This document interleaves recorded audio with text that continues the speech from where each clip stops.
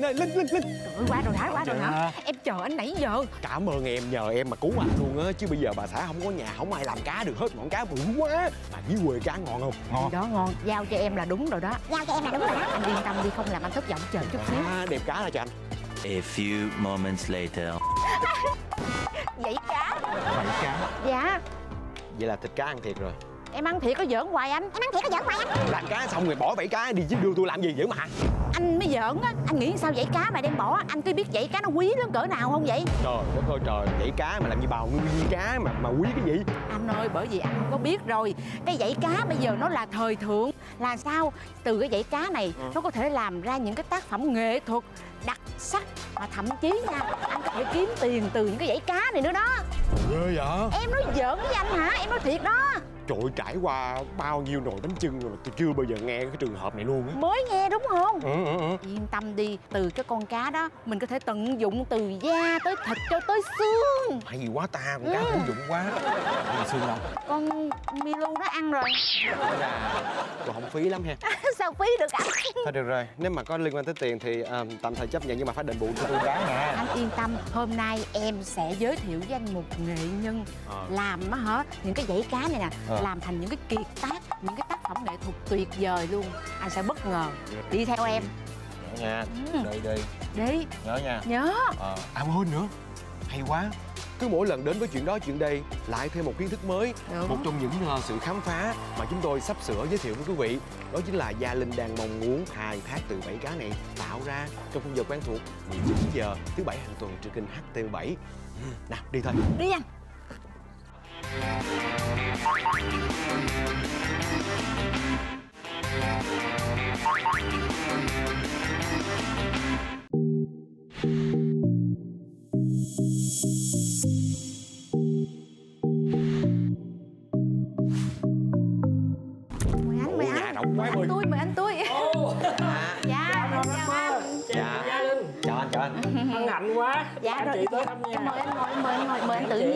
dạ mời, mời anh tự nhiên mời anh tự nhiên. Dạ đây đây. Ngồi. không nhà ảnh nhà ảnh. Thôi tưởng là nhà em luôn á. Người quen đồng hương chị dạ ơi dạ dạ. Chào anh, à, mình là Hoàng Rapper đến từ à, chuyện đó chuyện đây. Thì có nghe Gia Linh chia sẻ trên uh, chặng hành trình đến đây là có biết một anh tận dụng được vảy cá mà bên cạnh đó tạo ra nhiều cái tác phẩm nghệ thuật rất là tinh xảo. Hoàng cũng thắc mắc quá. Vảy cá người ta ăn xong người ta đánh người ta bỏ ai dữ phải em đó. Em nói mà không có tin. thiệu đi giới thiệu đi. À, đây đây đây. Em giới thiệu với anh Ngọc Đó. Biết. dạ À. nghe cái tên thấy hay hay rồi đó à, hay tìm tòi học hỏi liền đúng rồi Ừ. thì anh như nãy anh nói những bức tranh này đó là do anh Ngọc Biết làm ra từ những cái vảy cá đó mà nãy anh đòi đem bỏ cái vảy cá đó đây là vảy cá không đó anh Ủa vậy hả? Nãy giờ không để luôn á Vảy cá đó. tranh ờ, vẽ bằng mực bình thường À nhìn kỹ đây nè đúng rồi Đúng rồi, vảy cá nè rất Ủa là nhiều loại cá đó anh không phải một loại đâu. Yeah Rất nhiều loại cá dạ. Nhiều kích thước và nhiều màu sắc khác nhau. Dạ. Đúng rồi. Anh anh làm gì vậy? Hỡi coi còn có mùi biển không? hỡi coi còn có mùi biển không? Trời đất ơi. Vảy cá mà. Anh yên tâm làm sao mà còn được? Đây dưới bàn tay của anh biết anh đã làm cho những cái vảy cá của chúng ta nó không còn mùi nữa. Ồ hay vậy, xử lý một cách nào hay vậy ta? Thậm chí còn thơm nữa đó anh. Có thấy vô Thơm, rồi có màu sắc Dạ. sinh động. Và cái quan trọng là nó khá là bền theo thời gian. Và thấy bức vẽ này là làm từ năm tuất là cũng cách đây cũng vài năm. Nhưng mà cái chất liệu nè màu sắc nè nhìn vẫn còn rất là sống động và nổi bật. Dạ đúng rồi. Hay quá ta. Chắc bữa nay là mình sẽ học hỏi được nhiều điều hay lắm nè. Chính xác em đã nói rồi mà. Cho hỏi về cái chất liệu về vảy cá đi. Vảy cá làm như thế nào mà nó có phải nó giống như cái chất sừng trên móng tay móng chân của mình mà nó bền vững theo thời gian vậy không ta? Anh anh theo như em có nghiên cứu chút đỉnh thôi. Thì em biết là ở trong vảy cá như là nó có protein cứng đúng không anh xác với lại ờ, mấy cái collagen rồi đó anh. Xác em nghiên cứu nhẹ nhẹ thì biết nó là nó, vậy. nó bền hơn dạ đúng rồi nó bền hơn nó bền hơn đúng không chính anh? xác các lớp protein cứng làm cho vảy cá nó bền và nó định hình. Còn cái lớp collagen nó tạo cho cái độ mềm dẻo và cái độ phản quang ánh sáng nó giống như là xà cừ vậy đó. Thành ra là hai yếu tố này giúp cho vảy mình vừa mềm mà vừa cứng vừa chắc nữa thành ra khi mà nhuộm màu vào nếu mà nhuộm đúng kỹ thuật á, thì nó sẽ giống như là một chiều vậy đó. Cái màu nó chỉ vào vảy được thôi và nó không có ra được. Có nhúng có luộc hay là có làm gì nó cũng không có ra được. Thí nghiệm 4 năm trời mới ra được công nghệ đó.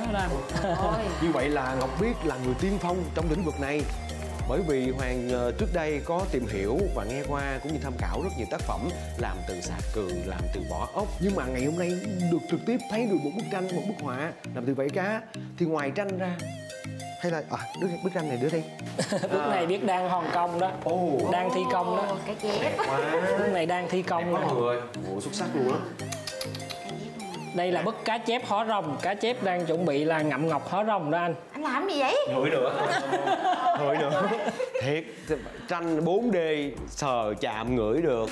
Có cảm xúc luôn. Mà anh nhìn cái chép này anh nhớ cái chép của anh không?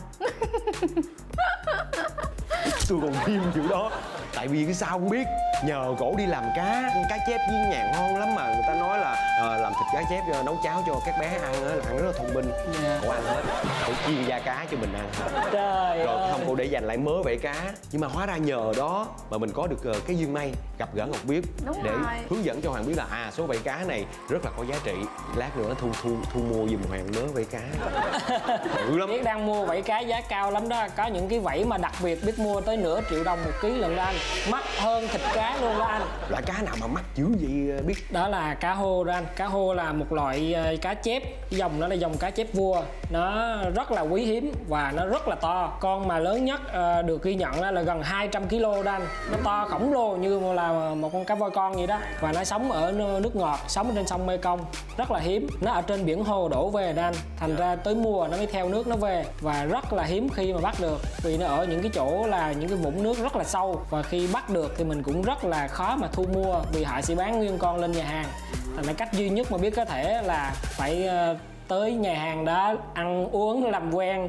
Thì cái chi phí đó là ngoại giao thôi rồi sau đó mới làm quen được đích thân chủ nhà hàng họ mới chỉ định. Tại vì anh biết trong cái quá trình mà làm làm vẫy đó không phải ai cũng có thể vì 500 ngàn mà để dành một ký vẫy cho mình. Nó nó rất là là khó đó. Phải đánh cái vẫy ra và phải thu gom lại. Thì cái này phải là từ phải quen chủ nhà hàng và mấy anh chỉ định xuống mấy cái anh thợ mấy anh làm cá mới để dành cho. Rất là hiếm những cái vẫy đó. Cái công đoạn thu mua rất rất là cực. Đúng rồi. ngoài ngoài cá hô ra thì còn còn loại loại cá nào nữa? Rất là nhiều loại để mà làm nên một cái tác phẩm. Biết nói từ nhỏ tới lớn nha cái vảy mà nhỏ nhất biết đang làm à, bức mảnh hổ đó là vảy cá mai. Con cá mai là cá biển nó nhỏ như con cá cơm vậy đó. Cái vảy của nó chỉ có 3 mm thôi. Cái vảy nó đập bỏ vô cái ống hút là lọt xuống á. À. siêu nhỏ luôn đó. Anh anh xíu về lấy mấy con cá bể màu đến gãy bán rồi lấy kính hiển vi hả không được hả anh? Chưa biết chưa dùng tới mức đó. Tới tới cá mai là siêu nhỏ rồi chị ơi. Lớn hơn là mức để hay dùng để làm nền làm những cái họa tiết như là mây rồi đây nè là biết dùng vảy được đúng không được thoải mái anh. Biết đang thi công bức này mà. Cái này là dùng từ vảy cá chuông. Cá chuông là một cái loại cá biển nhỏ và nó có thể ờ, lượn bay được trên mặt nước. Lớn hơn vảy ờ, cá chuông này là vảy cá mối. Cá mối mỗi vảy nó tầm 1 cm bằng cái đầu móng tay mình này nè lớn hơn nữa là vảy cá chép. Cá chép là hay dùng để làm thân con cá chép. Đây Đây là vảy cá chép hả? đúng chính xác. Phải dùng thân vảy cá chép để làm thân cá chép thì nó mới đạt là sống động và nó mang tính phong thủy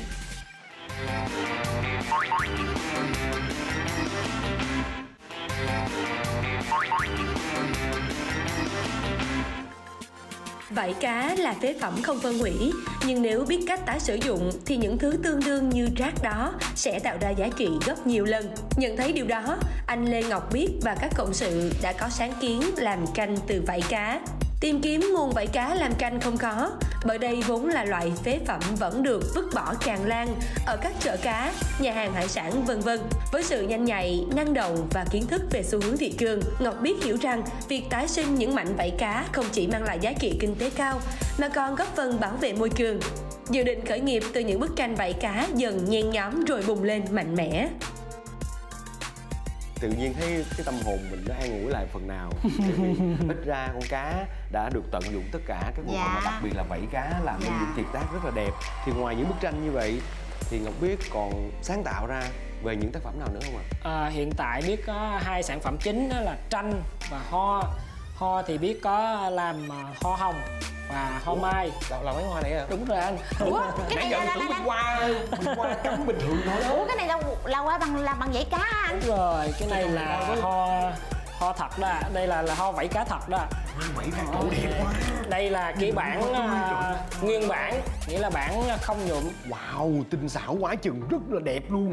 Mà thật sự là. những người thợ á, rất là khéo tay Bởi vì phải lựa chọn cái tỷ lệ, kích thước và chất liệu như thế nào để phù hợp à, Từng tầng, từng lớp một cách logic hợp lý nhất. Đúng rồi. Mà Hoàng tưởng tượng hen trong một đêm huyền ảo ánh sáng lung linh chiếu thẳng vào những đóa hoa này thì từng đóa từng cánh sẽ tạo ra cái khúc xạ ánh sáng nó rất đẹp. Dạ.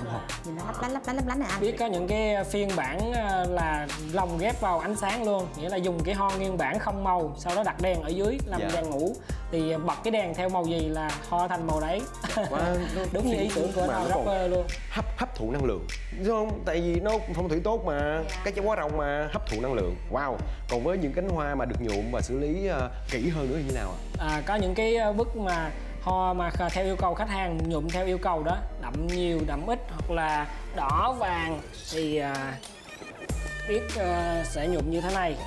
Rất là thiệt sự thì tất cả các cái vảy cá đó đều là trong suốt hết nha mấy anh chị. Tất cả các vảy của tất cả các loài cá đều là trong suốt hết. Dạ. cái màu mà mình thấy là cái màu da ở dưới vảy đó làm cho mình nhìn thấy con cá nó màu đó. Chứ cái vảy nó không có màu. Khi mà xử lý lấy hết da ra thành ra mình muốn màu gì thì mình phải nhuộm và nhuộm rất là kỳ công. Biết phải mất hết 4 năm cho cái công việc là tẩy mùi tanh và nhuộm ra thành công đó. Như vậy nhuộm là bằng bằng bằng thuốc nhuộm ờ, tóc hay là như thế nào ạ? Chính xác cái bước nhuộm tóc mà anh nghĩ đó là cái cái mà biết đã thử nhuộm lần đầu tiên nhưng mà nó không vào màu. Cái chất của cái vảy cá này nó giống móng tay nhưng mà nó khác hoàn toàn chất liệu của tóc. Dạ. thành ra nó không ăn màu. Và hiện sau đó biết thử ờ, dùng cái ờ, màu nhuộm thực phẩm. Dùng màu nhuộm thực phẩm thì à, nó vào màu nhưng mà nó sẽ bị dễ bị phai ra. Thành ra biết phải dùng màu nhuộm thực phẩm cộng với một số cái phụ gia hữu cơ an toàn và được uh, ép vào trong những cái điều kiện là nhiệt độ áp suất thích hợp á thì nó mới đẩy được cái màu đó vào và nó không có ra mà À. phải có màu thực phẩm còn là giống như gia mình đi hấp tóc vậy đem nhuộm tóc hấp, hấp cho màu dính vô gần giống gần giống vậy đó anh chính xác chính xác Dạ. nhiệt độ và áp suất dùng những cái điều kiện đặc biệt đó đó vậy tính ra là anh biết phải đam mê dữ lắm Đúng tìm rồi, nghiên dạ. cứu học hỏi này Bỏ tại thời vì gian. trước giờ đâu có ai mà có cái bộ môn đam mê này đâu vậy ờ, động lực nào mà khiến cho anh biết tự nhiên mình lại thích về vảy cá như vậy? Biết quê ở phú yên nhà biết thì giáp biển luôn anh. Cho nên từ nhỏ những cái kỷ niệm về biển nó rất là là sâu sắc và mình rất là quen thuộc với những cái vỏ sò vỏ ốc hay là vảy cá xương cá này nè. Nhưng mà ở biển mà làm vảy xong á, làm hàng nhiều tấn cá mà. Cho nên cái vảy rất là nhiều và hạ đổ xuống biển rất là ô nhiễm vì vảy cá là không có phân hủy trong điều kiện Khó. tự nhiên. Thì à, trong một cái lần mà người người thân ở quê đó họ gửi vảy gửi cá tươi vào biết làm thì một lần đánh vảy ở dưới cái ánh nắng đó mình mới thấy là lấp lánh đẹp quá. Mà mình bể tử thầu nhỏ giờ mình thấy nó dơ tanh mình đâu có thử tiếp xúc đâu. Bữa đó cá nhiều quá phải phụ làm thì mình tạ chạm trực tiếp và mình bể thử thì mình thấy nó rất là dai rất là bền. Mình mới nảy ý tưởng là bây giờ cái vảy cá này mà mình lấy mình làm tranh con cá luôn chắc là nó sống động lớp lớp tầng tầng đẹp lắm. Thế là biết mới bắt đầu bắt tay vào làm và đi thi. Trời ơi ý tưởng nó đi thi khởi nghiệp. Thi là thi khởi nghiệp là là cuộc thi đó như thế nào ạ? À, rất là buồn. Vì lần đầu tiên đi thi là bị đánh rớt ngay ở vòng loại vì họ không có tin là ý tưởng này có thể làm được. Họ nói là à, ý tưởng này là quá khó khăn và phi lý vì cái chất liệu vảy nó rất là hôi tanh làm sao mà anh tẩy hết mùi tanh được. Dạ. họ không tin là mình tẩy được hết mùi tanh. Mà đúng là lúc đó mình chưa có hoàn thành công nghệ tẩy vảy vì lúc đó mới có một tháng từ khi nảy ra ý tưởng à. Sau đó biết mới à, vào phòng à, thí nghiệm của trường và bắt đầu nghiên cứu cùng với cô trưởng kho và dùng những cái kiến thức hóa học của mình. Và dưới sự hỗ trợ của cô thì đã đã nghiên cứu ra được cái quy trình rửa sạch mùi tanh vảy mà giữ được chất liệu gốc của vảy nó vẫn bóng vẫn đẹp vẫn dẻo dai. Và tiếp tục thi những cuộc thi sau này nữa là mới thành công đó anh. Dạ, hay quá. Rõ ràng một người tiên phong luôn phải đón nhận rất là nhiều thử thách, khó khăn. Nhưng mà cái quan trọng là bây giờ mình đang dần dần rất là thành công Và đang giới thiệu với tất cả ờ, người tiêu dùng và những người sưu tập về những tác phẩm độc đáo, độc nhất và độc bản như vậy.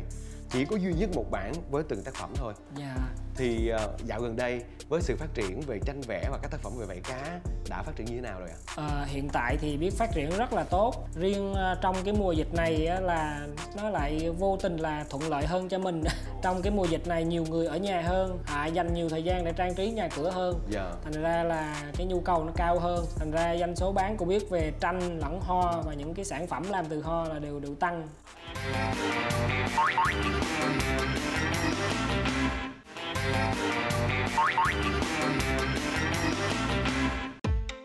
Bức tranh đầu tiên của Ngọc Biết là cá chép hóa rồng với vảy cá chép được cắt gọt tỉ mỉ và dùng sơn móng tay khoác lên đó những màu sắc sặc sỡ. Sau này, vảy cá được cải tiến, nhuộm bởi màu thực phẩm khá ấn tượng và đa dạng màu sắc. Nhưng một bài toán đặt ra với Ngọc Biết là làm thế nào để khử được mùi tanh của vảy cá và không bị các loại côn trùng tấn công. Từng là học sinh giỏi hóa, Ngọc biết thức cắn mấy đêm liền để tìm ra loại enzyme có thể tách vảy cá, khử mùi tanh mà vảy cá vẫn bóng đẹp. Đây là sáng kiến của Ngọc Biết và đã được đăng ký bản quyền. đây đây là bức mảnh hổ theo đơn đặt hàng thật uy lực của đất nước có trụ sở của Liên Hợp Quốc ở Bỉ ở bỉ Tranh này làm xong sẽ được xuất khẩu sang Bỉ. Đây là bức mảnh hổ được làm từ 100% vảy cá mai, là cái vảy mà nhỏ nhất và khó làm nhất của dự án. Được làm từ à, 100.000 cái vảy cá mai đính lên 100.000 lần cứ đính lên đính lên đính lên đính lên như vậy một. Ủa mà sao dán bằng loại keo nào mà hay quá vậy anh biết? Bởi vì không hề loang lỗ mà dính rất là chắc. Và đặc biệt là phải rất là trong suốt. À. đây là một loại keo silicon một hỗn hợp keo vậy là keo silicon và cái phụ gia trong phòng thí nghiệm của biết nữa. Để mà nó đạt tính chất là vừa dẻo nhưng mà phải vừa chắc. Đặc biệt là không phân hủy qua thời gian. Những cái keo silicon hiện tại trên thị trường chịu tối đa chỉ có 50 năm thôi. Trời 50 năm mình dữ lắm rồi đó. Nhưng mà cái loại keo cô biết mới dám bảo hành vĩnh viễn nghĩa là hơn cái thời gian đó nhiều. Và nó vẫn giữ được cái độ chắc như ban đầu. Đó là một cái hỗn hợp keo mà được nghiên cứu trong cái dự án là tẩy mùi tanh nhuộm màu và keo dán. Nghiên cứu trong 4 năm trong cái phòng khoa học ứng dụng của trường đại học công nghệ. Vậy thôi mình phát triển thêm nhánh mới là mình bán keo riêng để mình có thể cạnh tranh với rất nhiều loại keo khác ở trên thị trường. À, không thắng được vì chi phí nó rất là đắt anh. Chi phí nó tăng lên là phải gấp nhiều lần đó. Anh anh cho em hỏi là à, thường thì một bức tranh như vậy thì anh có thể à, cái thời gian mà anh thực hiện nó là khoảng bao lâu anh? như bức tranh này đến khi mà hoàn công là phải một năm đó. Bức Một tranh này năm? có kích thước là 86 cm cái ý nghĩa đây là con cọp là cái con vật hộ mệnh của anh ấy. Và anh ấy biểu thiết kế làm sao mà thật là mạnh mẽ và thật là rõ khuôn mặt thì đây là đã thiết kế và thi công theo. Hiện tại à, dự kiến sẽ làm hoàn công trước tết tây để mà mà xuất sang bên đó kịp cho ảnh. Bức này đã làm là vừa ăn tết xong là biết làm đó. Dạ. Mà làm đến bây giờ là mới gần hoàn công được 90 phần trăm nè. Là một mình biết là và biết và à, những cái bạn đồng sáng lập làm nhưng mà biết là chính các bạn ấy ở những cái bước phụ như là pha keo hay là lọc lựa vẫy những cái bước mà chuẩn bị cho biết. Còn là trực tiếp thi công thì biết làm vì cái bước này nó yêu cầu những cái kỹ thuật khó mà không có dùng các bạn nhân công để làm được. Bước này là làm theo yêu cầu thành ra chưa ai từng làm mà mới biết không có cái quy trình khó ví dụ những cái bức như là cá chép hóa rồng, là biết sản xuất đồng loạt ra là nhiều bức cả ngàn bức thì cứ cái quy trình đó là áp vào cho quản lý rồi quản lý khón cho các bạn khuyết tật cứ làm giống y chang y chang y chang và một bạn chỉ làm đúng tranh vậy thôi làm hoài luôn làm quen tay luôn. Giờ tò mò quá linh ơi không biết là cái thao tác bởi đôi bàn tay điêu luyện hiệu nghệ của anh biết được chạm khắc trên từng chiếc vảy cá này như thế nào đây? Không biết là bây giờ bữa nay sẵn tiện với chuyện đó chuyện đây anh biết có thể ờ, ờ, mình cho chúng mình, em dạ, được ờ, chế tác tại chỗ để cho quý vị khán giả cùng theo dõi được không ạ dạ anh à, các anh chị sẽ sẽ trải nghiệm nhưng mà nói trước là hơi hơi đổ mồ hôi đó nha. Trời ơi đâu có sao. Đó. là tại sao làm hư đó? Không Dạ. sao không sao. Có những cái sản phẩm thôi làm được nhưng mà cực lắm đó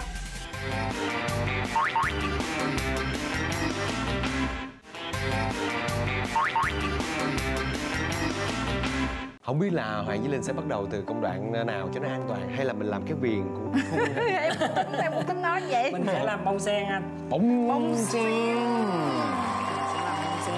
ta sẽ lợp ờ, ngược từ dưới lên để cho làm sao mà mình tạt nước vô là có thể nước cái chảy từ trên xuống được và giữ được bức tranh của mình.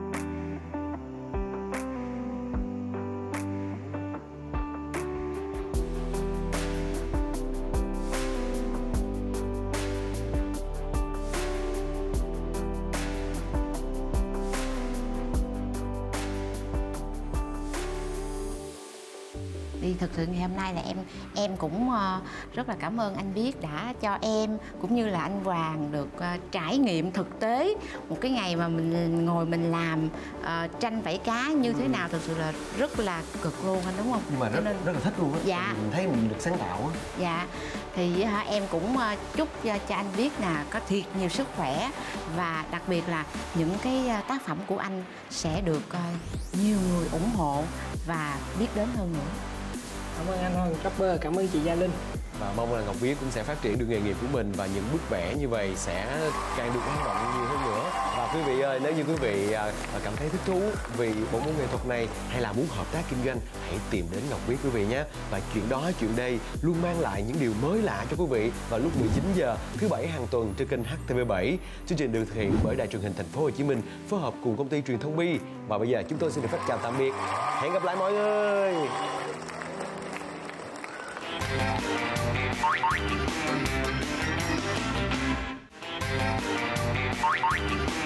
you.